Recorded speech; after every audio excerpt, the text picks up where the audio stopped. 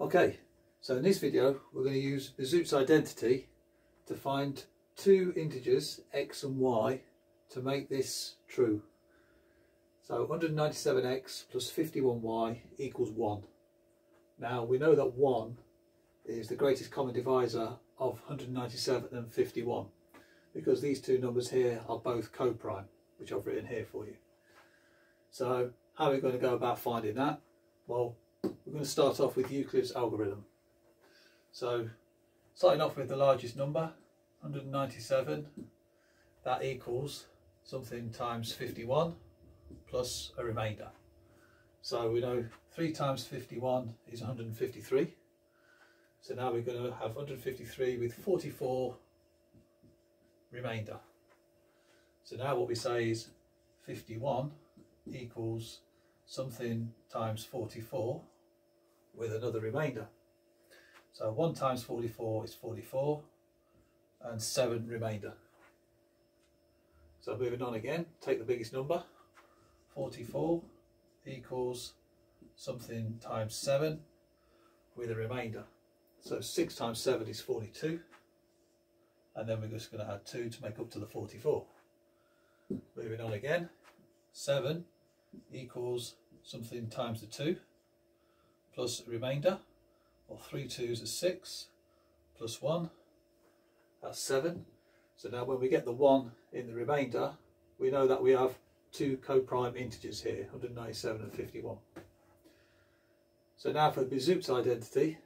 So what we do is we take this and find the reverse. So instead of having the remainder at the back we say that the remainder equals so 1 equals 7 minus 3 times 2.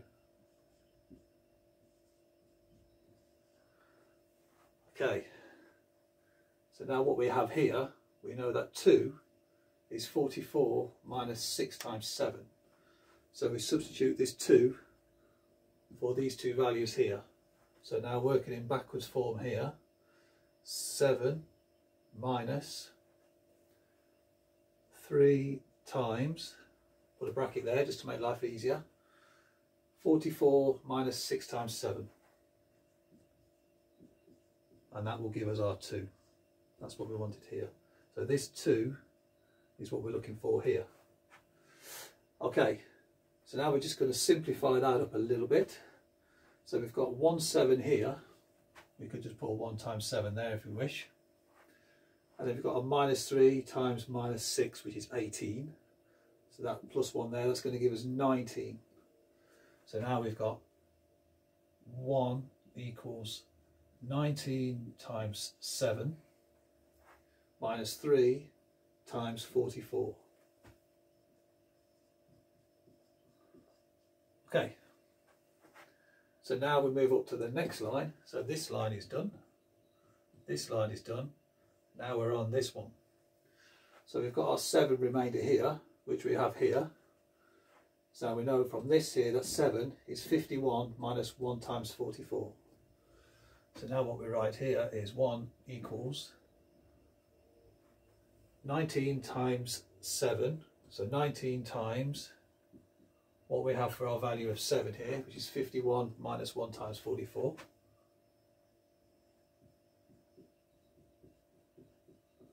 and then we can just continue here with the minus 3 times 44. And if you was to do the sums on this, you would still end up with 1. So this is still a true statement here. Okay, what we do now again, as we did before, we just have to simplify this up a little bit. So we say that 1 equals, so we've got 19 times 51, so we can write that in there. 19 times 51 and then we've got 19 times minus 1 which is minus 19 times the 44 so we've got a minus 19 here and a minus 3 so that gives us minus 22 44s so that's minus 22 times 44 okay so 19 times 51 minus 22 times 44 that's still going to give us our 1 so we're on track here. Okay, now what we do is we know what 44 is, because that's the remainder here. So now we go for this one.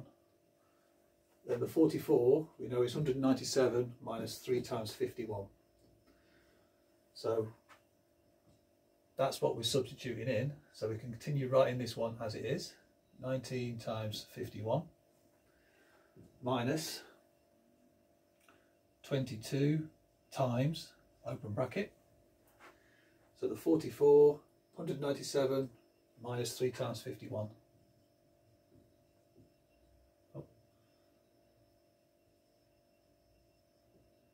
Okay, so let's just cross out this Bezout's identity here. So we've got a little bit of space to work in. Okay, need to simplify this up a little bit.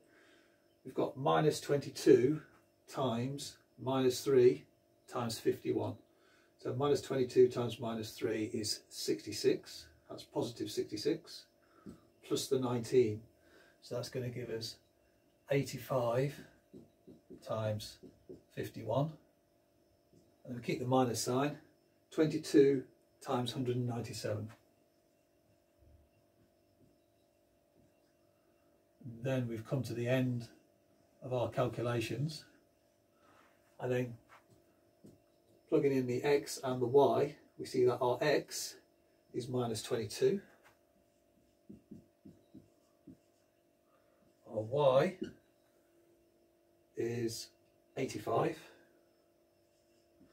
and that's a positive 85 so then we can say that minus 22 times 197 plus 85 times 51 will equal 1 so that's our numbers that we required for our x's and y's to make that statement true. There we go